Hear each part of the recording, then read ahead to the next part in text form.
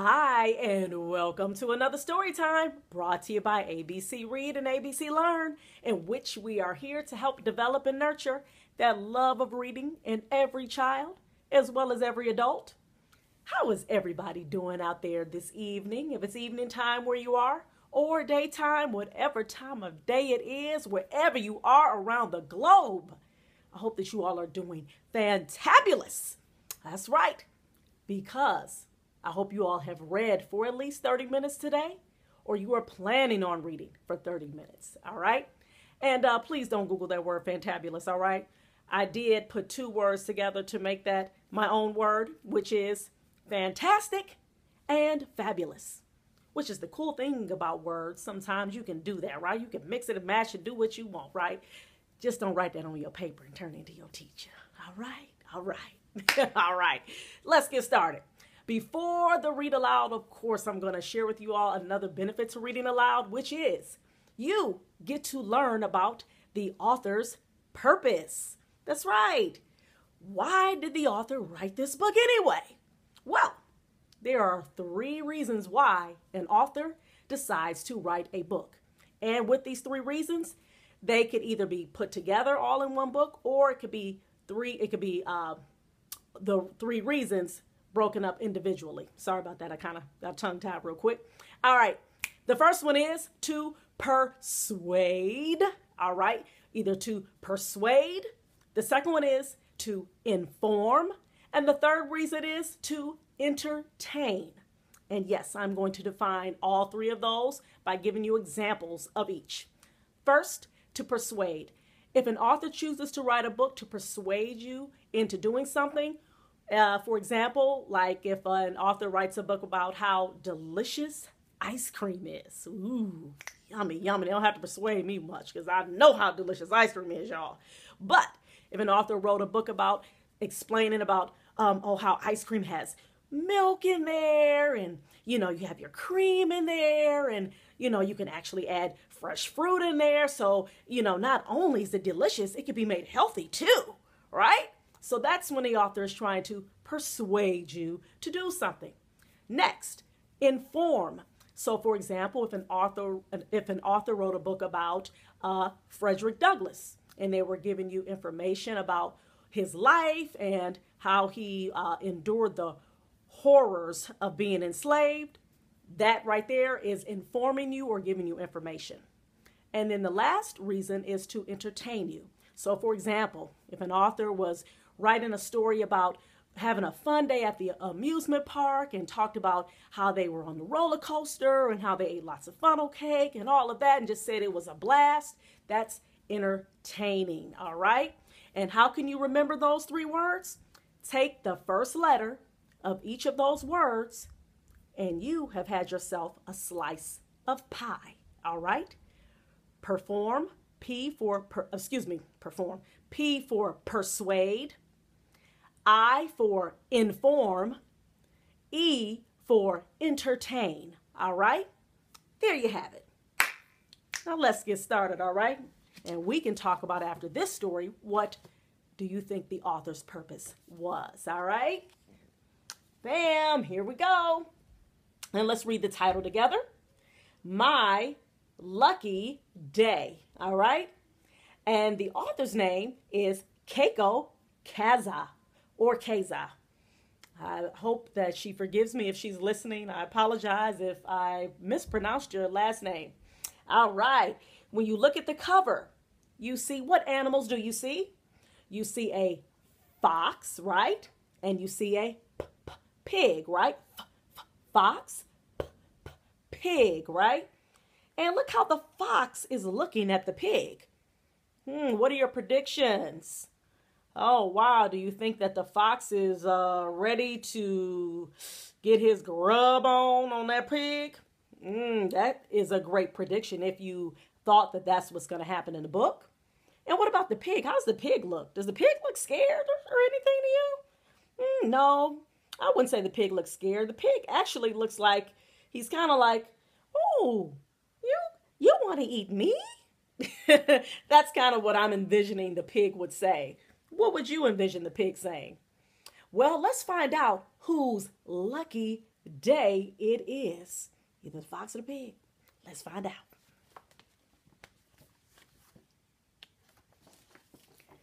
One day, a hungry fox was preparing to hunt for his dinner. As he polished his claws, he was startled by a knock at the door.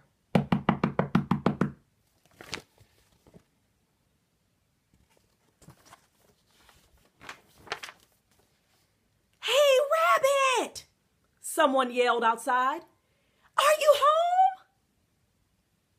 Rabbit, thought the fox. Hm, if there were any rabbits in here, I'd have eaten them for breakfast.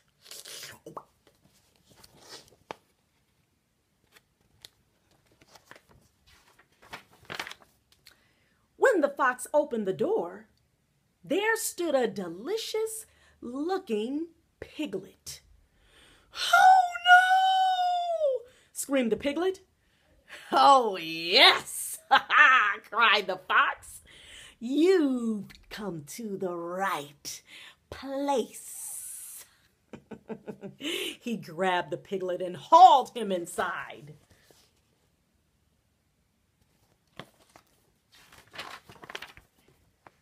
This must be my lucky day! the fox shouted. How often does dinner come knocking on the door? The piglet kicked and squealed. Let me go! Let me go! Sorry, pal, said the fox. This isn't just any dinner. It's a pig roast, my favorite. Now get into the roasting pan.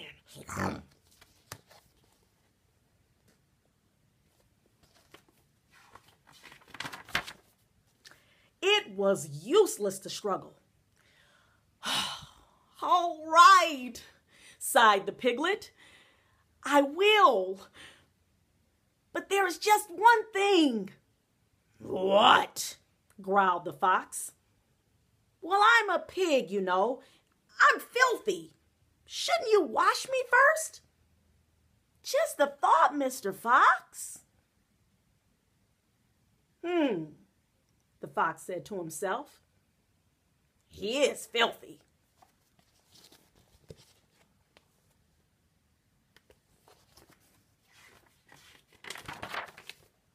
So the fox got busy. He collected twigs, he made a fire, he carried in the water, and finally he gave the piglet a nice bath. You're a terrific scrubber, said the piglet.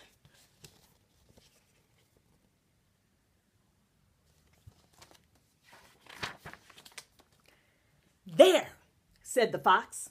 Now you're the cleanest piglet in the county. You stay still now. All right, sighed the piglet. I will. But. but what? growled the fox. Well, I am a very small piglet, you know. Shouldn't you fatten me up to get more meat? Just a thought, Mr. Fox. Hmm, the fox said to himself. He is on the small side.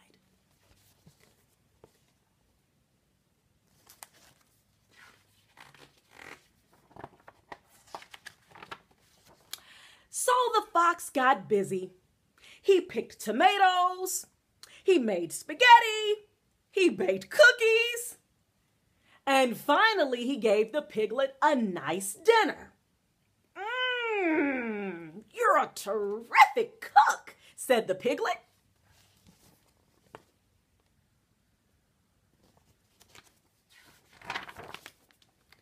There, said the fox. Now you're the fattest piglet in the county. So get in the oven. All right, sighed the piglet. I will, but. What, what, what? shouted the fox. Well, I am a hard-working pig, you know. My meat is awfully tough. Shouldn't you massage me first to make a more tender roast? Just a thought, Mr. Fox. Hmm, the fox said to himself. I do prefer tender meat.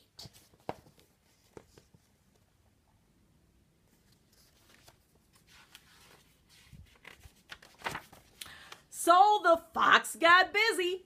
He pushed and he pulled, he squeezed and he pounded the piglet from head to toe. Ooh, ooh, you give a terrific massage, said the piglet.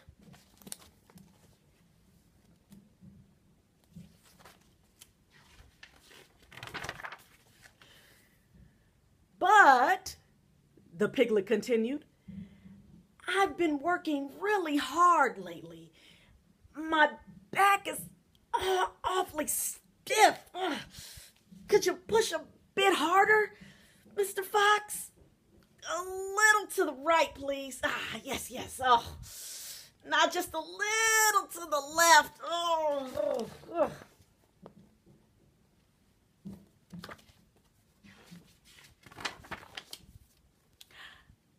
Mr. Fox? Are you there?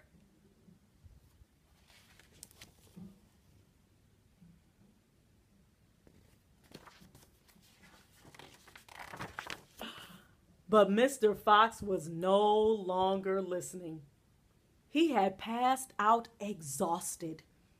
He couldn't lift a finger, let alone a roasting pan. Oh, poor Mr. Fox sighed the piglet. He's had a busy day. Then the cleanest, fattest, and softest piglet in the county picked up the rest of his cookies and headed for home.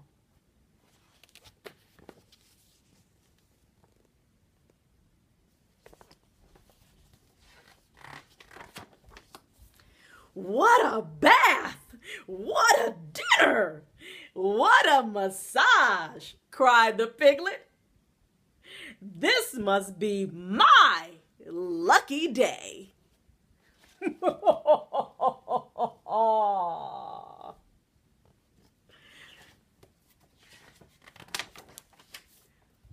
when he got home, the piglet relaxed before a warm fire. Hmm, let's see, he wondered looking at his address book. Who shall I visit next?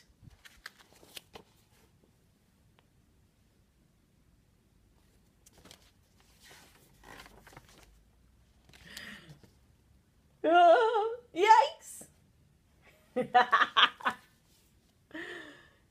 the end. Well, I hope that you all enjoyed that story. And I hope that you all figure out, figure out rather, what was the author's purpose? What do you think the author's purpose was in writing this book, My Lucky Day? Hmm. Did some of you out there guess to entertain? I would agree. Do you think, were you entertained by this story? I hope so. I know I sure was. I crack up every time I read this book, I'm cracking up. What do you think about persuading? Do you think the author was trying to maybe get you to believe something or sell something? Mm, I don't know. I, I don't I wouldn't say so. I would say more so that the author was trying to also inform you about something, right? Well, if you think a little deeper with the story, the author was giving you ways to uh, deal with situations where if somebody's trying to trick you into doing something that, you know, you may like, I don't want to do that you can actually be on your toes and outsmart them. Wouldn't you agree? I would say so. And um, you let me know what you think, though, in the comment section below, all right? And you all take care. And um, remember, please, please don't forget to like, subscribe, and share. All right, happy reading.